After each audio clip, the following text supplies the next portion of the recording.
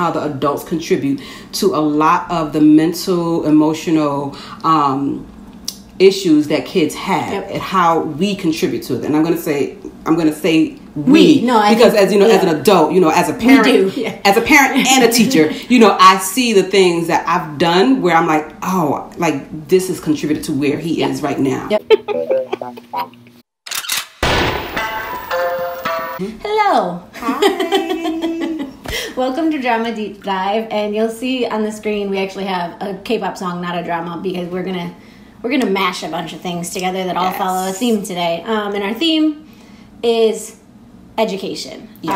Uh, if you've watched some of our other videos, you might know that we are both educators. Mm-hmm. Uh, we have had different experiences, but between us, we've had like Yes. I'd say the gamut of American education experiences, so. whether it's through when we, where we went to school or where we've taught or worked. So Yep. we've seen a lot. So how many years have you been in schools or Um, education? I will say. 20 years. Yep. And I'm going. I'm on 13. Some of it in schools, some of it in out of school education related work. Yeah. So. Uh, we between the two of us have a lot of experience in this area, and um, From private schools to public schools to charter schools. to all of them, We've gone through it all. rural, urban. Everything. suburban. yeah. um, so we probably will have a lot to say. Um, and what brought this up is I'll actually let you say what brought this on. So it started with uh, Moments at 18, um, just looking at that whole um, educational system. And I think what I got out of it is just looking at it from the adult's point of view. And it just brought around like very strong emotions with me. And then recently I finished Sky Castle and that just exploded. And I was like, oh, I want to do something about education on our um, channel. And I, when I watched Moments of 18, and I did do a recap this morning, like I refreshed my memory because it's been a while. Um, that also made me super emotional, and I just watched Sky Castle to prepare for this. because I'll be honest, I wasn't in love with Sky Castle when I tried to watch it previously. But interestingly, that one didn't make me as emotional, and we'll talk about that. I'm I, I'm not sure why. Maybe talking about it today will help me know why. Uh, but the other thing that came to mind because I am an army, she is a new newbie army, is this song "Baepsae" by BTS, which. Uh, what we're gonna do is we're gonna watch the explain and then a performance of it. Okay. It, he'll explain it, but this is like to me the BTS BTS's music has always been political and has always had messages about their beliefs on Korean culture. Within that, this one to me is the most like straightforward. We're saying what we think about this, and it's about a lot of the themes in Sky Castle and Moments of 18. Right. So, um, And Joyce did tell me that this was um, RM, aka Kim Namjoon, so I like to say their names as well. Um, that this was one of his favorite shows, and so I was very intrigued. Yes. Oh, Sky Castle. why- Yes, yes, yes. Why Sky Castle was one of his um, favorite shows, and so I kind of kept telling her, "I see why this is his favorite." so So we'll get right into it. This is DKT T DK DKTV. I think that's the whole thing. Um, which is my favorite explained series. I know there are other ones out there. I have watched some other ones. I like the way he explains things. Um, so he's going to explain some of the cultural nuance in the lyrics that we wouldn't understand. Okay. Because we speak English as a first language. Mm-hmm. All right. In light of BTS's new comeback, we are taking a look at their fiercest and most political song, Baepsae.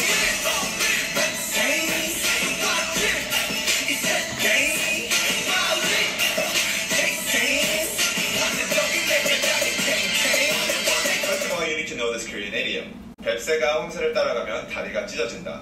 It means when you try to do something that's out of your reach, okay. out of your capabilities. I was like, what does what that mean? Okay. This is why this is why I'm having you watch the explained first. Thank you. Okay. Yeah. And he breaks it down like line Good. by line, so Good. it's like very Good. effective. Good. Uh, then you will likely fail. Crow or baepsae have short legs but They're little storks birds. have So very long legs. Storks have long So obviously, a crow tit trying to catch up to a stork Hmm. will likely fail. Here, the storks are referring to people in power, the big companies, conglomerates, and older generations. And in this video, I will focus on the last meaning of older generations uh, because the previous two meanings have been covered a lot by other explanations. Here, BTS is using crow tits as a metaphor for the younger generation or the millennials of South Korea. They are trying very, very hard to catch up with their parents' generation uh, the baby boomers or the storks. Uh, they also use another metaphor of teacher to refer to the uh, older generation who are born with a golden spoon. They say this because during the ages of the baby boomers in South Korea, they were experiencing huge economic growth and it was extremely easy like to get jobs, well. get housing, and stuff like that.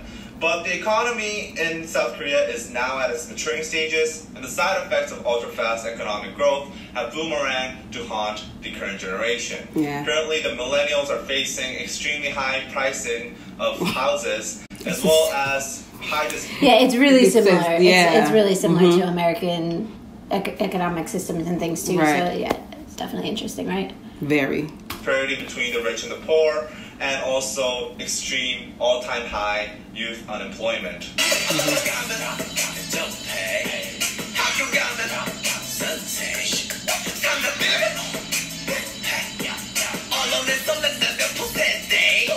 In this verse, BTS addresses the social injustices that millennials commonly face in Korean society. For example, passion pay. This is a very common practice in Korean society where companies basically pay young workers below minimum wage or nothing at all in return for experience. This reminds me of startup, of them mm-hmm. actually saying that you're only like paying me very little because I don't have that experience or because I'm young.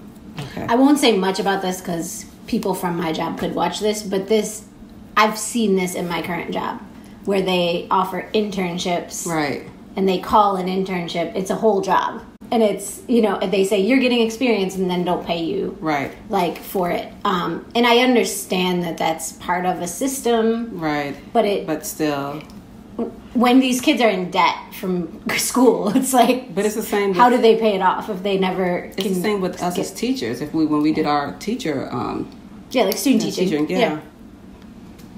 The company's logic is because they are offering a job and an experience that many young people have passion for, they are the ones at, that are actually doing the service for the young people. Yep. Enposete mm-hmm. is another newly made word that is used to describe the millennials of this decade. They are a generation that have basically given up what many consider to be basic human rights and wants because of extremely high youth unemployment rates and also very low wages compared to living costs. We have many different variations of Enposete to describe the millennials of South Korea. It originally started from Samposete, which is used to describe the millennials that have given up dating, marrying, and giving birth due to economic instability. Then it evolved to Oposete, which added giving up employment and buying your own house. And then it evolved into Chirposete, which added human relationships and hope. Now the word again something that we're seeing in American culture, and it's not even just in American culture. When we went to Africa for our um, our uh, Fulbright uh, scholarship thing, they talked about it in Mauritius. It's the same thing that's happening there as well, where the um, percentage of younger people who are getting married and having children is dropped so dramatically that they're nervous about what will it look like when the older generation starts to die out. Yep. Enposete is most commonly used because they have basically given up all their dreams and hope.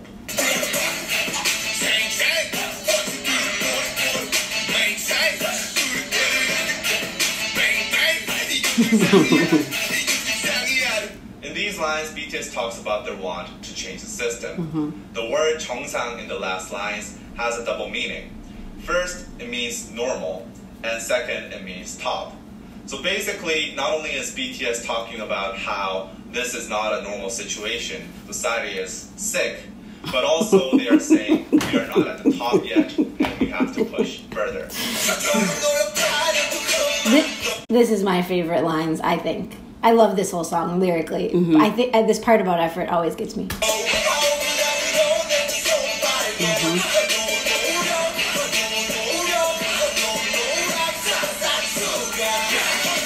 But this also kind of speaks to even like the whole Black Lives Matter movement in looking at um, what the constant argument is within Black society is that we were never given a chance, and to keep saying that you can pull yourself up by your own bootstraps, even though when you do it, you still are not starting off at the same playing field Yeah. as your white counterparts. It's this pretty It's a much stork and a Baepsae, right? Like it's it's literally trying to catch up with something that's un- Right. uneven, right? It's Right. starting off on an uneven, Yep. yeah. Mind you, sorry, now I'm going to take this metaphor a different way, right? Mm-hmm. The other thing is, though, like storks can't fly. right. But Baepsae probably can, right? Mm-hmm. So if the society looked at things differently, they could be even. Right. But because it's valued to have the longer legs, Right. the stork would win, right? But if it was valued to just get somewhere, no matter how you got there, like no matter what your process was, right they might be even because the Baepsae could fly mm-hmm. and a stork could walk. But it goes back to just. And I think we're going. I'm going to talk about it a little bit more when we get into the session. Yeah. Is even looking at right now during COVID, who has kept us afloat, and it's been the people who are at the quote unquote bottom. Yep. So. Yep. Mm. Here, BTS addresses how the older generation blames the millennials for their struggles, saying that it is due to a lack of effort. The word 노력 is pronounced 노력 by BTS, and this is a very commonly used internet slang among millennials to sarcastically describe how the older generation blames them for the lack of effort. Baby boomers often neglect the fact how society is completely different now compared to when they were growing Yes. up and also the economic situation is completely different. Mm-hmm. They also neglect the fact that a lot of the economic problems that these millennials face today were in fact caused by baby boomers. For example, housing prices that are extremely high, so that millennials have basically given up buying their houses. These were driven up by baby boomers buying multiple houses Yep. in, in speculation and for investment purposes. Yet many baby boomers simply neglect the fact and tell the millennials that they should try harder, work hmm. harder, so that you can perhaps buy a house 20 years later.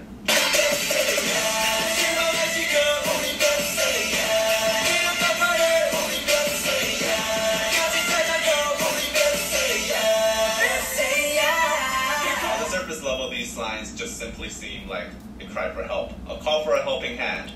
However, the word pepsia in the very last line is a very clever play on words. Basically, this word would sound like a curse word to the Korean ear. It sounds very, very similar to shipseya or keseya, which are both very serious curse words in South Korea. yeah. So not In only America are they crying for help, and not only are they asking the protests to unite, but they are also calling the older generations.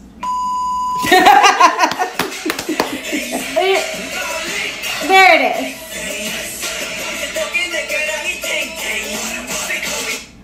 Okay.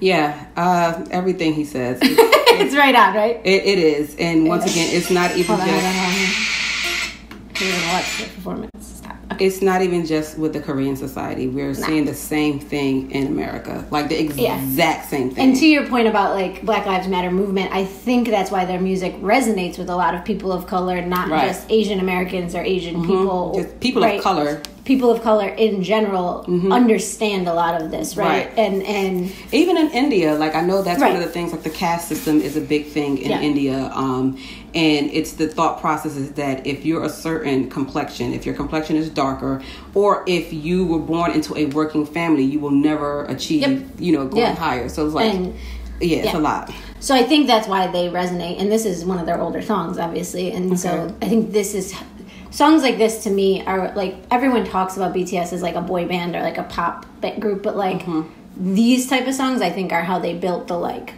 foundation of their fan base. Right. That is that is what carries them. You know what I mean?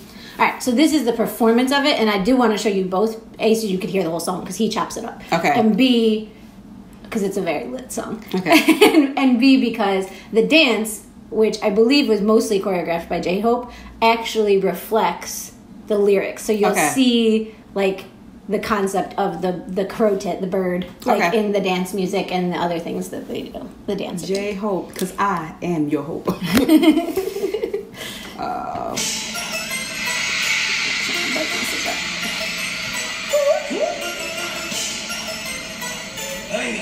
before we get started with this, I know I'm watching this for the message, but like, I'm really getting hyped for just the visual. No, that's why I wanted you to hear the song too And just the dancing is just like the political message is part of it, but the other thing about this song is it is fire. Yeah. Like when I saw this live, I was I lost my mind. Yeah, I was like getting hyped just watching the breakdown, even though it was being chopped up. But Yep. like, yep. You're gonna uh, love it. I already know you're gonna love it.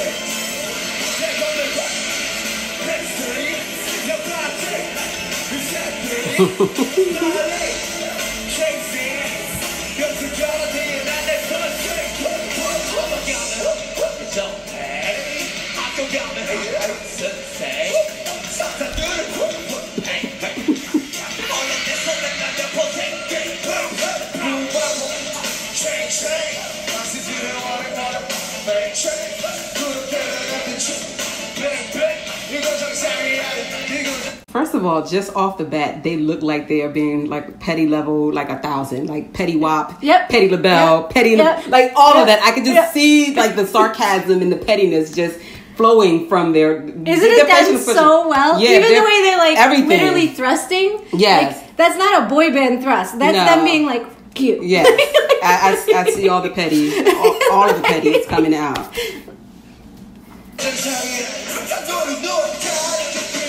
Like just Look at him. Yeah. Like he's a haughty old man.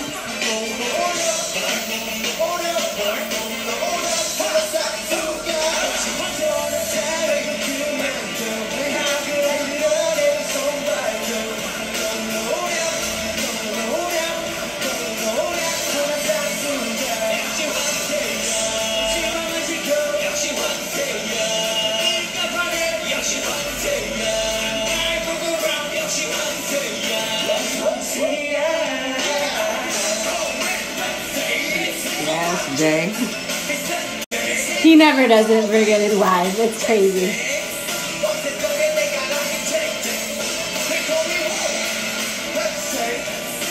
Mm-hmm.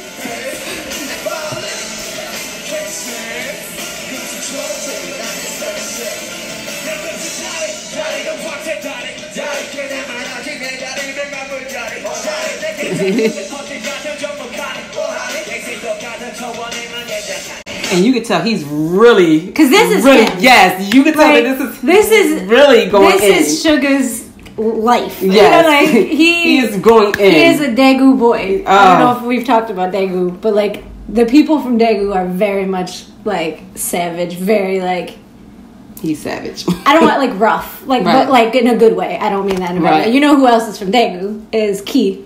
oh yes, learn Korean then. Good luck. Come on.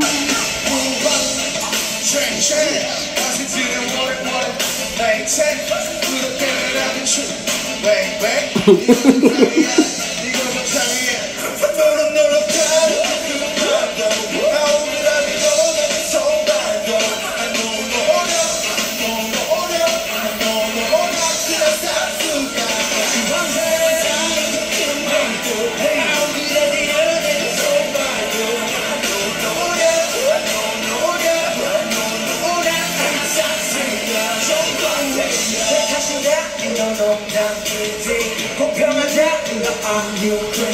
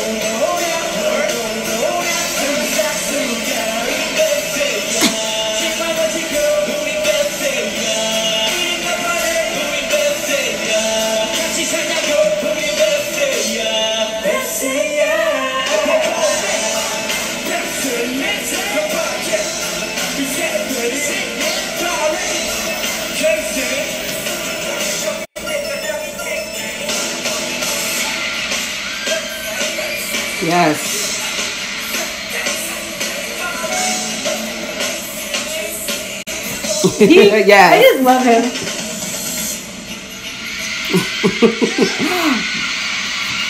And get my back. and get my back on that. So- yeah. yeah. It says it all, right? Like it's that's why I was like, this goes with what you wanted yeah, to talk about. yeah, sure. it it does. Um, and I think for me, what I liked about um, Sky Castle was that yes, they focus on the children, but what I liked about it is that the focus more so was on the adults and how the Yeah. adults contributed to where the children were, how they acted, just you know, like why they were the way they were. Yeah. Um, and one of the things that I kind of like looked at was American TV shows around school.